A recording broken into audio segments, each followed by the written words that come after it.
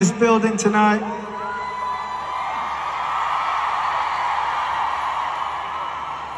Nobody in the world understands more than I do that I don't get to do this if you guys don't come. I promise you that.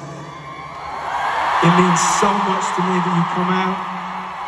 It means so much to me that you are here tonight. It means so much to me that you come and you park and you get a ticket and you stand here and you wait. And I thank you for all the support over the last several years of my life one year, five years, 12 years, whatever it is.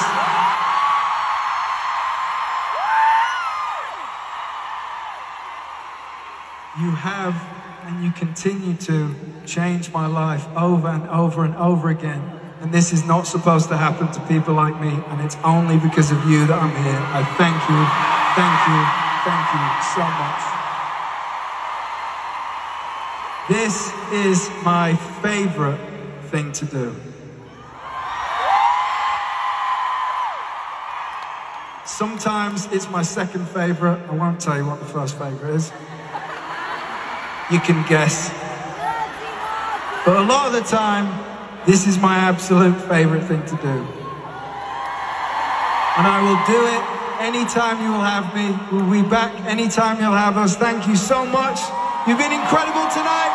Thank you, thank you, thank you.